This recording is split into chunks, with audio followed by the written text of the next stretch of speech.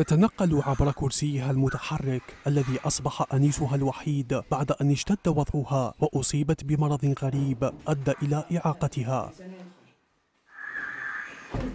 هي الفتاة مروة صاحبة العشرين عاما. حياتها كانت جد عادية لتنقلب رأسا على عقب.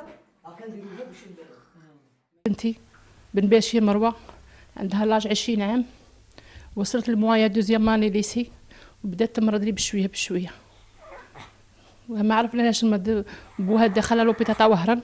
خطرتين ميتي انتيغ وتاع النورو ما عرفولهاش الأولى بدات تهود تهود ظهرها كيما هكا وبدات تودود وبدات الكتابه ما تبقاش تكتب.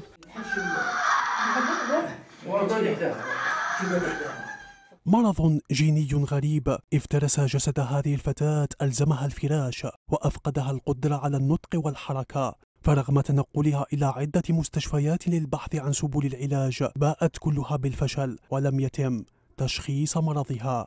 شوفي في مروة حالتها كي راهي مدهورة وأنا نطالب في الشعب الشعب اللي فيه رحمة والمحسنين لا يشوف يعاونوني في بنتي.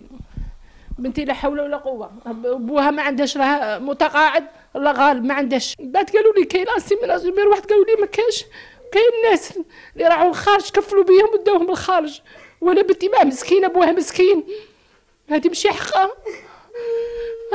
يا هكا ومريضه مسكينه تحوس تقرا تحوس الجامعة كملت قرايتها دات المعدل العام تيرمينال باللاشيز وديتها طلب السيد التبون بيشكل في البيئة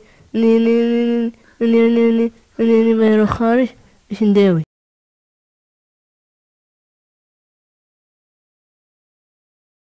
فبين فقر العائلة وقلة الحيلة تناشد عائلة مروة كل المحسنين والخيرين والسلطات للالتفات إلى حالتها لانتشالها من هذا الوضع القاسي ونقلها للخارج من أجل العلاج.